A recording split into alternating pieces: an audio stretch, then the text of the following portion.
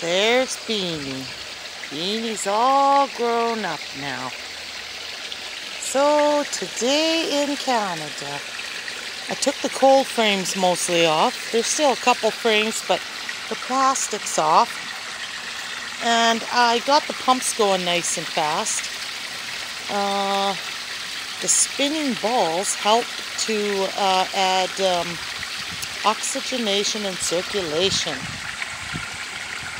So in the spring, like I usually have the filters cleaned out like a month ago, but it was a cold uh, spring. So I just took them off now. Now it's typical you, in the spring you'll get some of this, right? This type of algae. It's loose. It's easy to take away. And uh, it's common in the spring. But it should disappear once all the plants start growing again. Oh, somebody's hungry. I haven't fed you since last year.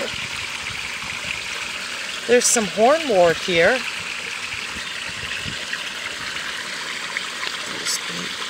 But they're hungry. The water's still cold. My hand is cold. So even though they look like they want to eat, I think it's still a little bit early. Let's take a look. Now, um, I usually run a pressure filter over here, but uh, here's the pressure filter. It's a few, I don't know, it's probably, it's toast. The inside is broke. The clamp that holds it down is broke. I think I left it outside too many years and the plastic gets brittle. This hose isn't going to be like this forever. I just um, took out the pressure filter that was over here, so I still have a cold frame up. The yard is a big giant mess. Beanie, what are you doing? Uh, this is just barely spring here. Let's take a look at the bottom pond. I moved that plant out today. I have to plant stuff in here. So yeah, I'll get rid of that hose and hide it better. Just uh, I was fiddling around and I got rid of that pressure filter. There's some plastic I have to put away. I have to put this cold frame away is uh, where I lay the plastic on for the winter. I smell somebody's having a barbecue and that's making me hungry. And I have to take this last piece away. And the robins are coming. Look at the, all the goldfish. This yellow flag is actually, that's the yellow flag there's. It's quite far behind for the middle of April. Should be way bigger. But it's only becoming nice out now. Beanie likes to follow me. So everybody stays out all winter. There's even a black moray right there. It's a black moray. And there's a big black koi that hides. He's hard to see. He's in there. I saw him last night.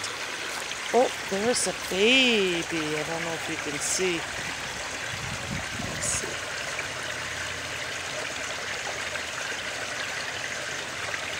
It was a baby. I don't know if you can see the baby, but down to the bottom pond. There is a bunch of babies down here, but they're mostly black, so they're hard to see, although there's a white one right there swimming. The grass is starting to come back. I've been picking the dead stuff off.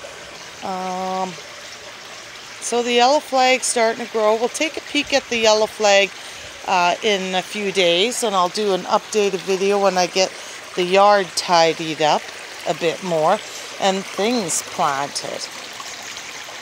But uh, yeah, got all the. I think I have. I don't know if I'll get another um, pressure filter. I use mostly the big uh, um, EZ biofilters. There's three connected there.